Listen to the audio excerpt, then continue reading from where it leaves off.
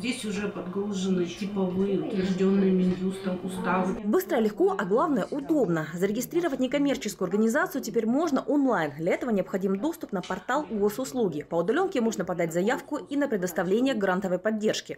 На Крайнем Севере это очень удобно, учитывая отдаленность городов и поселков от административных центров. Даже на уровне муниципальных конкурсов у некоммерческой организации будет возможность через нашу же платформу гранты ямала.рф зайти и в онлайн-режиме не только подать заявку, но и отследить пока идет процесс экспертизы. В добровольческом центре «Золотые грифоны» уже больше 200 участников. Филиалы открыли в Тазовском, Надыме, Ноябрьске и ДНР. Для дальнейшего развития необходима весомая грантовая поддержка.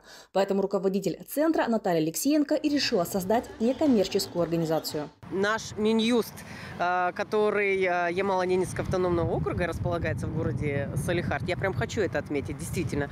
Самые замечательные девушки, консультанты, которые там работают, поскольку напрямую лично со мной э, девушка общалась и вела меня, и корректировала. В регистрации некоммерческой организации через сайт госуслуги есть и другие преимущества. Гражданин освобождается от уплаты государственной пошлины.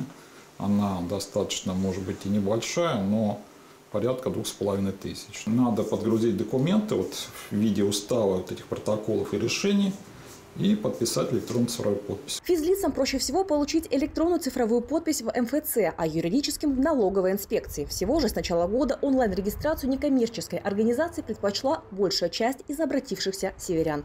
Виктория Воронецкая, Алена Кушекова, Максим Кутафин. Время Ямала.